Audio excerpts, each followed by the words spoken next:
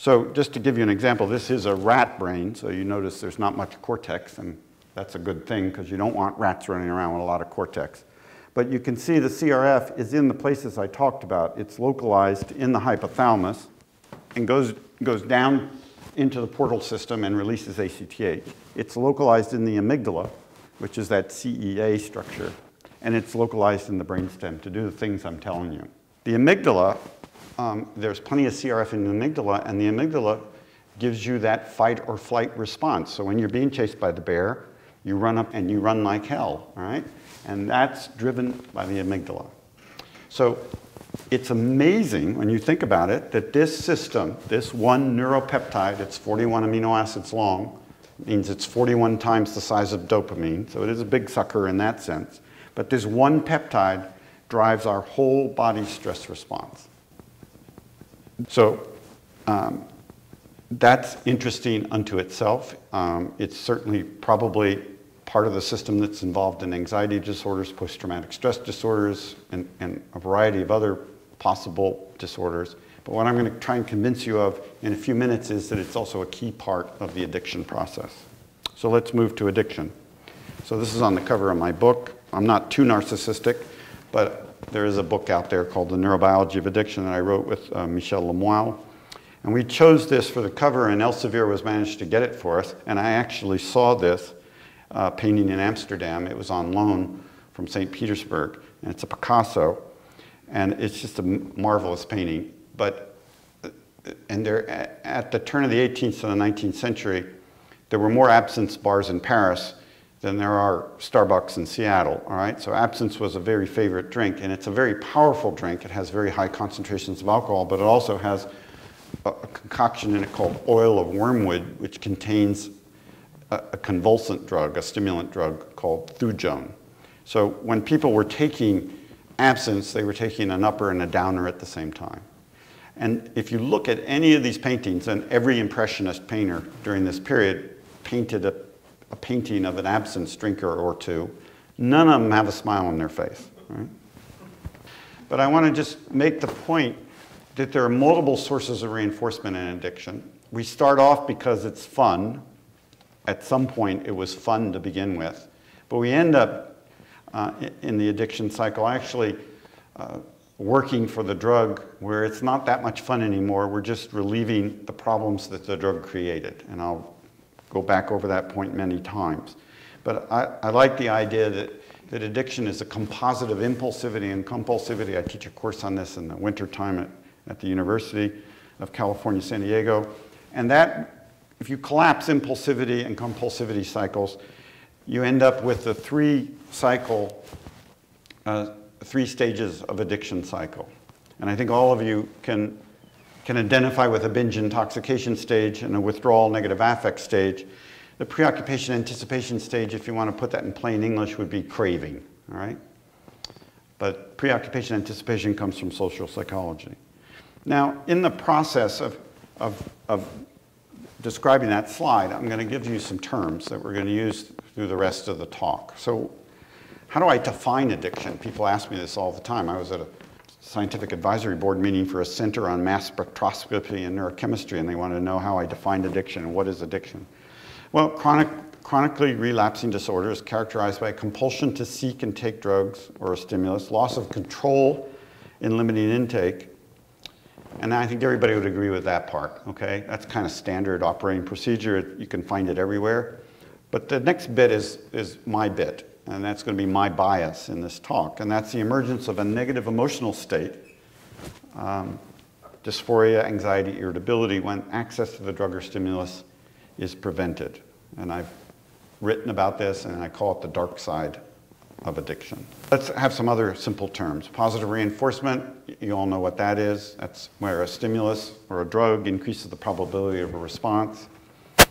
Um, think SeaWorld, think dolphin jumping through a hoop, think trainer slipping the dolphin a fish after it successfully jumps through the hoop, right? Reward is the same thing. You have drug withdrawal, it's aversive, you take the drug to eliminate that aversive state. And then a couple of uh, other things, nucleus accumbens, I'm going to tell you about this. This is, a, this is kind of like key confluence of of circuitry that's involved in motivation and reward. Uh, dopamine we call an incentive salience neurotransmitter. And then opioid peptides I call the brain comfort neurotransmitters. Opioid peptides are normally released in states of stress when you have, particularly in painful states.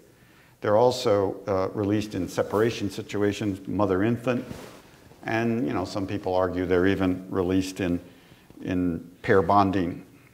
Did you know there are these voles? You know what a vole is? It's a little rodent that has a short tail. But there are, there are prairie voles, and they're monogamous. They, they stay together for life. And then there are mountain voles. I call those the Bill Clinton voles. And they're promiscuous. You know, they're out poking every other vole they can find.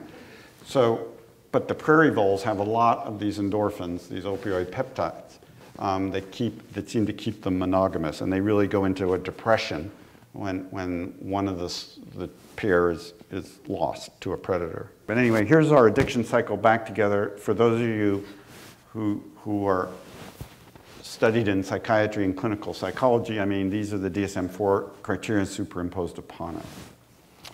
So this slide is, is what I call my life's work, okay? This is our brain on, the, on this side, on our left-hand side here. And, and the blue is the parts that are involved in making us feel good and the binge intoxication stage. And the red is involved in the negative affect or withdrawal stage.